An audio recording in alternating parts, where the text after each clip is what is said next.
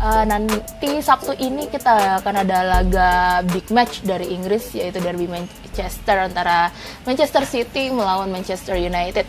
Jadi saya mau sedikit uh, bahas soal derby Manchester ini karena walaupun main di Etihad Stadium bukan berarti City bisa mengalahkan United walaupun memang ada motivasi tambahan kalau menang nanti uh, City juara sudah dipastikan juara lawan United. Jadi uh, adalah tensi-tensi atau semangat semacam semangat tambahan mengalahkan rival sekota gitu dan jadi juara itu motivasi tambahan. Tapi sayangnya uh, City kurang diunggulkan dalam pertandingan ini karena uh, fokusnya terbelah bisa dibilang seperti itu.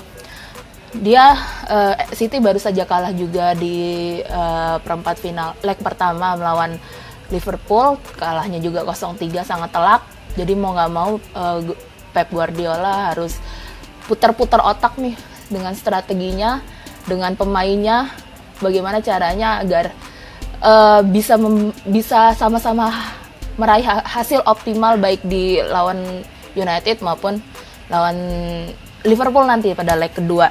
Ini yang uh, kurang diuntungkan. Uh, sebaliknya United kan sangat fresh ya karena tidak ada pertandingan di pertengahan pekan. Jadi uh, Mourinho juga bisa menurunkan pemain skuad terbaik dan kebetulan juga tidak ada banyak masalah cedera juga di uh, kubu United. Jadi ini yang bukan berarti tuan rumah akan menang ini jadi masalahnya. Kalau dari rekor sendiri rekor pertemuan cukup berimbang sih belakangan.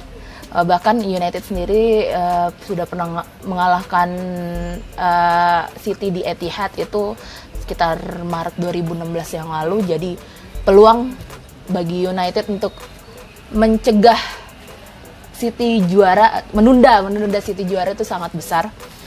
Uh, belum lagi di kubunya United ada senjata-senjata yang bisa dipakai untuk mengacak-acak pertahanan City misalnya Romelu Lukaku yang on fire cetak gol mulu nih belakangan terutama di sepanjang 2018 ini.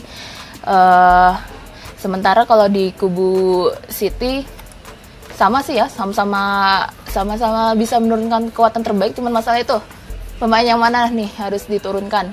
Karena kemarin juga sempat rotasi City sempat rotasi di laga melawan Liverpool dan hasilnya malah jadi kalah 0-3 ini bagaimana nih Guardiola untuk mengantisipasinya? Karena nggak mungkin juga semua dengan laga berat ini pemain yang sama diturunkan skuad terbaik yang sama diturunkan uh, di dua partai penting itu akan sangat berat banget.